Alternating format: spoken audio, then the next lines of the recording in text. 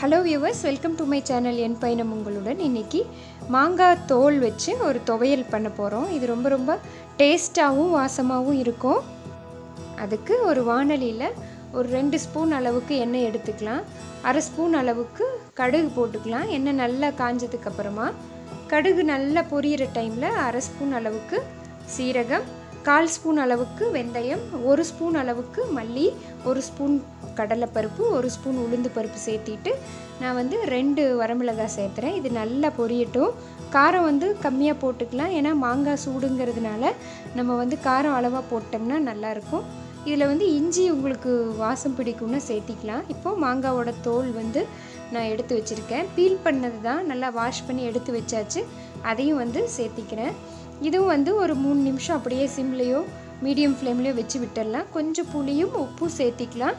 இந்த தோல் வந்து நல்லா வணங்கி அந்த பச்சை வாசம் போனதுக்கப்புறமா அடுப்பை ஆஃப் பண்ணிக்கலாம். கொஞ்சம் பெருங்காயமும் நான் வந்து சேர்த்திக்கிட்டேன் ஸோ நைஸாக அரைச்சி எடுத்துக்கலாம்.